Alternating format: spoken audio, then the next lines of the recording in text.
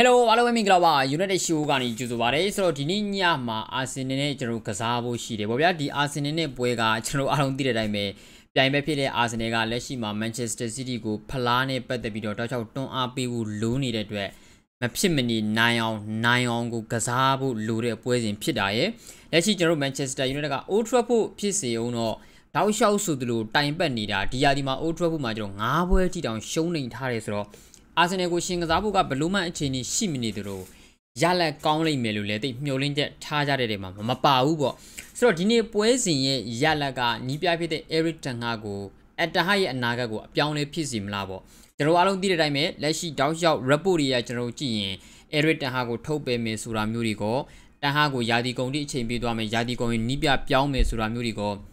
Eric Ten Hag ကိုဆက်ပြီးတော့အချိန်ပေးသွားနိုင်နေဆိုတဲ့ယူဆချက်တွေကိုကျွန်တော်အများကြီးဖြစ်နေကြတာပေါ့ဗျာဒီထဲမှာလည်း United နဲ့ပတ်သက်ပြီးတော့ပြည်သက်အတော်များများကလည်း Eric Ten Hag ကိုအပြောင်းလဲဖြစ်စီခြင်းကြတာရှိတယ်ပေါ့ဒီမတိုင်ခင်မှာဘာလို့လဲဆိုတော့ FA ဖလားဘူလူပွဲမှာနီးပြအပြောင်းလဲနဲ့အခွင့်အရေးရှိနိုင်နေဆိုတဲ့ပုံစံမျိုးနဲ့ပေါ့ဆိုတော့ Arsenal ကနဲ့ရလက်ကတန်ဟရဲ့အနာဂတ်ကိုအပြောင်းလဲဖြစ်မလားပေါ့အပြောင်းလဲဆိုတဲ့နေရာမှာ Arsenal ကိုတကယ်လို့မြန်နိုင်ခဲ့ရင်ကျွန်တော်တို့ပေါ့နော်နောက်ထပ်တရားဒီကန်အချိန်ပေးသွားမယ်ဆိုတဲ့အပြောင်းလဲမျိုးမဟုတ်ဘူး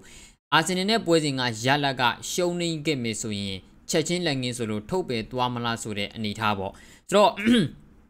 ဒီယူဆချက်တွေအရာကတော့ဗျာကျွန်တော် journalist တွေရဲ့ report တွေဘာတွေကိုကျွန်တော်ကြည့်ရင် Eric Ten Hag နဲ့ပတ်သက်ပြီးတော့ဗောနော်အသင်းကယာတီကုန်တိအချိန်ပေးသွားမယ် FA ဖလားဘိုလူပွဲစဉ်ပြီးမှတန်ခါရဲ့အနာဂတ်ကိုကျွန်တော်ကြည်ညာမယ်ပေါ့ထုတ်ချင်လဲထုတ်မယ်စက်ထားခြင်းနဲ့ထားမယ်ပေါ့ဒါပေမဲ့လို့ပေါ့နော်ဂျားထဲမှာထွက်ခဲ့တဲ့ report တချို့ကျွန်တော်ရှိတယ်ဒါပါလဲဆိုတော့ Ineos ရဲ့ဘက်ကတကယ်လို့ Eric Ten Hag ကိုထုတ်ပယ်မယ်ယာဒီကိုရင်ထုတ်ပယ်မယ်ဆိုရင်တောင်မှကျွန်တော် Steve McLaren ကိုတော့ဆက်ပြီးတော့ထားမယ်ပေါ့တကယ်လို့ Eric Ten Hag ကိုယာဒီကုန်ထိဆက်ထားဖို့ဆုံးဖြတ်ပြီးမှဂျားထဲမှာထင်တာထက်ပိုပြီးတော့အခြေအနေတွေစိုးဝါးနေတယ်ဆိုရင်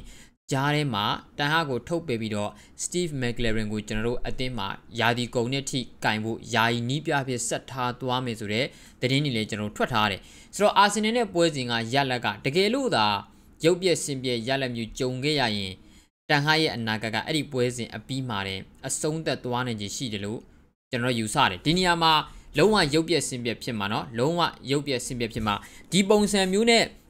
အာဆင်နယ်နဲ့ပွဲစဉ်မှာကျွန်တော်အာဆင်နယ်ကိုရှုံးနေခဲ့လို့ဆိုပြီးတော့အသင်းဘက်ကလုံးဝတန်ဟရဲ့အနာဂတ်ကိုချက်ချင်းလက်ငင်းဆိုလို့ထုတ်ပယ်လိမ့်မယ်လို့ကျွန်တော်မထင်ဘူးအဲ့ဒါ1 0နဲ့ရှုံးတာ2 0နဲ့ရှုံးတာဒါမျိုးပေါ့နော်အဲ့လိုမျိုးဂိုးပြက်ရှုံးနေခဲ့တယ်ဆိုလို့2 0လောက်နဲ့ရှုံးနေခဲ့ရင်တောင်မှ Eric Ten Hag ကိုချက်ချင်းလက်ငင်းထုတ်သွားမယ်လို့ကျွန်တော်မထင်ဘူးဒါပေမဲ့ကျွန်တော်ဒီနေ့ပွဲစဉ်မှာနော်ပြောတော့မပြောချင်ဘူးပြသေးလားဒါပေမဲ့လို့ဒီနေ့ပွဲစဉ်မှာကျွန်တော်တို့ရုပ်ပြက်စင်ပြက်ဖြစ်နိုင်ခြေရှိတဲ့အခွင့်အရေးတွေကျွန်တော်တို့မှာအများကြီးရှိတယ်ခရစ္စတယ်ဘဲလစ်နဲ့ပွဲစဉ်ကဆန်နဘက်ရဲ့အနေအထားကိုကျွန်တော်တို့ကြည့်ကြည့်ဗျာဂျွန်နီအဗန်ကအဆင်ပြေဘူးကက်စမဲရိုကအဲ့ဒီပုံစံနဲ့ဆိုလို့ရင်ကျွန်တော်တို့ထရောက်ဆာတို့ကိုဘယ်လိုသွားကစားမလဲဟာဘတ်တို့ကိုဘယ်လိုသွားပြီးတော့တားမလဲအဲ့တော့ဆာကာတို့ကိုကျွန်တော်ဘယ်လိုသွားပြီးတော့တားမလဲဝမ်မီဆာကာတို့တောက်ချောက်အဆင်မပြေနေတာဆာကာတို့ကိုကျွန်တော်ဘယ်လိုသွားတားမလဲ အဲ့တော့ညာချမ်းမှာဆိုလို့ရင်ထရောက်ဆာတို့ကိုကျွန်တော်ဘယ်လိုသွားတားမလဲကွင်းလယ်မှာကွင်းလယ်မှာ defensive midfield နေရာမှာဘလို့မှအခြေအနေမကောင်းတဲ့နေရာမှာ Rice တို့ Party တို့ OG ကတို့ကိုကျွန်တော်ဘယ်လိုသွားတားမလဲတိုက်စစ်ကကျွန်တော်ဂိုးသွင်းဖို့အတွက်အခွင့်အရေးတွေတော့မဖန်တီးနိုင်တဲ့နေရာမှာကျွန်တော်တို့ Saliba တို့ Gabriel တို့ကိုကျွန်တော်ဘယ်လိုကြော်ပြီးတော့ဂိုးသွင်းမလဲဒါမျိုးပေါ့အသင်းမှာ individually ရတဦးချင်းဆွမ်းဆောင်ရည်တွေရတကယ်တကယ် movement ကောင်းနေကြုံလာရင်အသုံးချနိုင်စွမ်းရှိတဲ့ player တွေရှိတယ် Rashford တို့လိုကစားမတွေ Garnacho တို့လိုကစားမတွေပဲဖြစ်ဖြစ် Bruno Fernandes တို့လိုကစားမတွေပဲဖြစ်ဖြစ်ပေါ့ဒါပေမဲ့လို့အသင်းလိုက်ကြီးအနေထားရ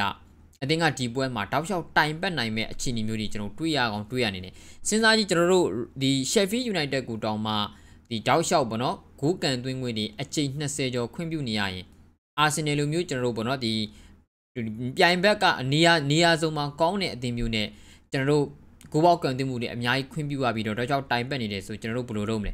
အာဆင်နယ်ဆိုတာကဒီယာဒီမှာယာကိုအများဆုံးအသင်းတွေကအတင်းမန်ချက်စတာစီးတီးရဲ့အောက်မှာလာမလို့အယာကိုအများဆုံးအသင်းတွေကအတင်းပေကိုအနည်းဆုံးအသင်းတွေကတင်းဒီလိုအသင်းနဲ့ရှင်မြိုင်ကစားမဲ့နေရာမှာအခွင့်အရေးဖန်တီးမှုအားနည်းတဲ့တိုက်စစ်မှာကျွန်တော်ဘယ်လိုသွားသွင်းမလဲ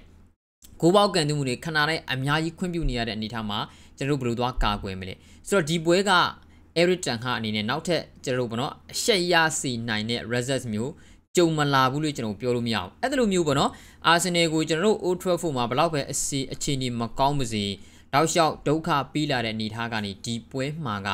ပြဿနာအကြီးတက်သွားနေတယ်ရလက်ပြက်သားတာတွေကြားထဲမှာအများကြီးပေါ်သွားနိုင်ပြီးတော့ဘယ်လိုနည်းနဲ့မှရှင်မကစားနိုင်တဲ့အနေအထားမျိုးတွေကြုံကောင်းကြုံသွားနေတယ်ဒါကျွန်တော်တို့လက်ရှိကိုအသင်းရဲ့အနေအထားနဲ့အာဆင်နယ်ရဲ့အနေအထားကိုရှင်ပြီးတော့ကျွန်တော်တို့ကြည့်တာဘာဖြစ်မလဲတော့ကျွန်တော်မသိဘူးပေါ့ဗျာပွဲတဲ့ပွဲမှာတေတေချာပေါက်ကတော့ဘာမှပြောလို့ရတာမရှိဘူးပေါ့သို့တော်လည်းပဲတေချာပေါက်ပြောလို့ရတာဒီ Sheffield United လို့အသင်းမျိုးတောင်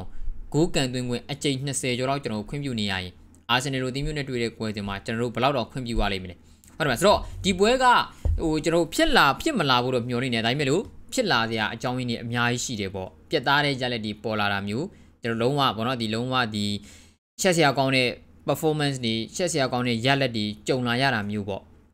ဆိုတော့အဲ့ဒီတွေ့ပေါ့နော်ကျွန်တော်ကအဲ့လိုမျိုးရုပ်ပြက်ဆင်းပြက်ကြီးဖြစ်သွားမယ်ဆိုရင်တော့ တန်ဟရဲ့အနာဂတ်ကချက်ချင်းလက်ငင်းဆိုသလိုအာဆင်နယ်နဲ့ပွဲအပြီးမှာတင်အပြောင်းလဲဖြစ်ပြီးတော့ထုတ်ပယ်ခံရပြီးတော့ Steve McLaren တို့ဘာတို့ကပဲယာဒီကုံနဲ့ထိကင်တွယ်သွားဖို့ရှိတယ်လို့ကျွန်တော်ထင်တယ်ကျွန်တော်ဂျားထဲမှာလည်းပွဲကအဲ့လောက်မကြံတော့ဘူးဗျာဂျားထဲမှာလက်ကြံပွဲတစ်ပွဲကြံမယ်ပြီးလို့ရှိရင်ကျွန်တော်တို့ပေါ့နော်အဲ့လက်ကြံပွဲကလည်း Newcastle နဲ့လာမသိဘူးအဲ့ဒါပြီးရင် Brighton နဲ့ကြံမယ်အဲ့ဒါပြီးရင်ကျွန်တော်တို့အနေနဲ့ Manchester City နဲ့ FA Villa Final ကိုကြံမယ်ဆိုတော့ Arsenal နဲ့ပွဲမှာအဲ့ဒါလိုရုပ်ပြက်ဆင်းပြက်ဖြစ်ခဲ့လို့ ထုတ်ပေခဲ့လိုက်မယ်ဆိုလို့ချင်းကျန်တဲ့၃ပွဲကိုပဲယာယီနီးပြကကင်တွေရတော့မှာအဲ့ဒါပြီးပြီဆိုတာနဲ့နွေရာသီပြောင်းရွှေ့မှာကျွန်တော်နီးပြတွေရှာမယ်အပြောင်းလဲတွေကျွန်တော်လုပ်မယ်ပေါ့ Steve McLaren ကိုတော့ကျွန်တော်ဆက်ထားမယ်တန်ဟာကိုတော့အပြောင်းလဲလုပ်မယ်ဆိုတော့အခြေအနေမျိုးတွေ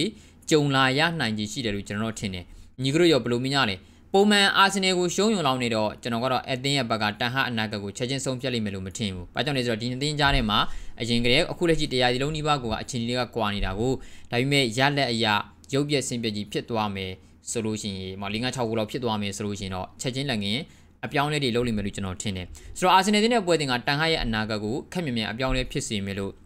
ညီကိုတို့ထင်ကြလား။ဆွေးနွေးကြပါဦး။ကြည့်ကြပါပြီတဲ့ညီကိုများလုံးကိုချီးတီးများကြီးတင်ပါတယ်။နောက်ထပ်ဗီဒီယိုတွေမှာကျွန်တော်ပြန်ပြီးတော့တွေ့ပါမယ်။အားလုံးကိုကျေးဇူးပါ။